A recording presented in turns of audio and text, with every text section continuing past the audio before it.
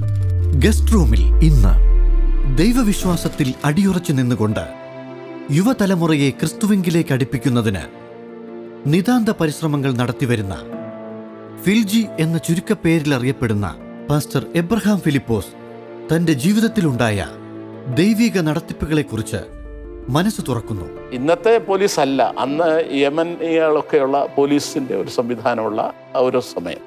എന്നെ വിളിച്ചിട്ട് പറഞ്ഞു "You have- ഫോണിൽ വിളിച്ചോ?